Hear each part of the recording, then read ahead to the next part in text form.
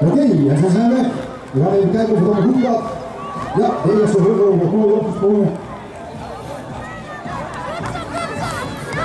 Even naar de halve kant.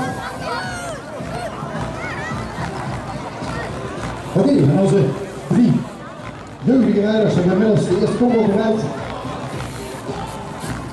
Die zit al voorop. Die heeft de meeste durf.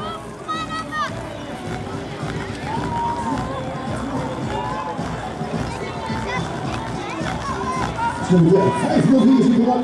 Jan Kroos als eerste, gevolgd door 506 Jan van Endert. Ander uh, van de Heuvel van de Deurknappers.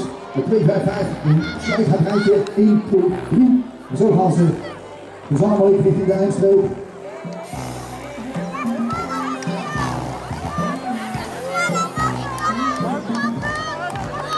Nog steeds Johan voorop.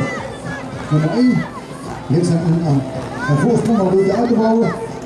En als hij rustig een echte lijn op de finish aan afpakken, er niks gebeuren. Dan heeft hij de maximale puntjes. Ja, jonge Klaus als nummer 1.